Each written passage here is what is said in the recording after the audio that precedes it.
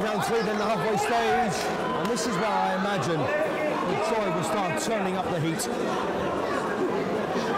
wants to send his crowd home more than happy. And the bigger threat, of course, that Olivos becomes,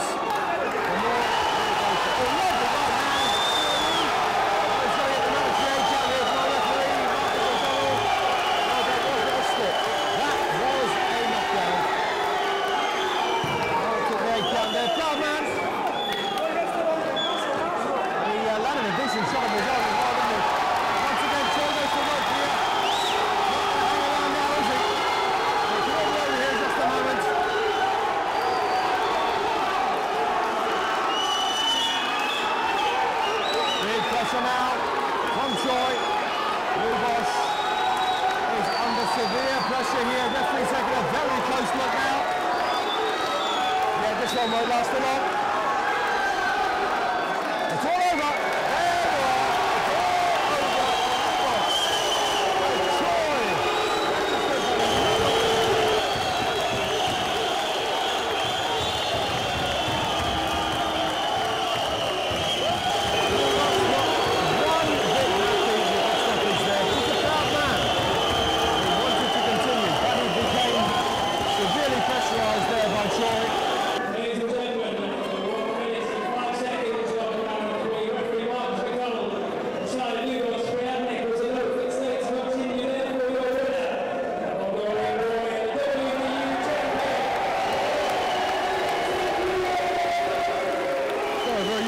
To Hard Knocks uh, boxing promotions.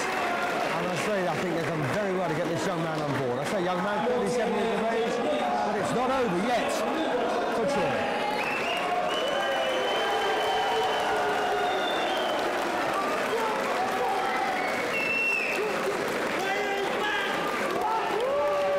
Well, the warrior is back. Shouts Choi to the crowd.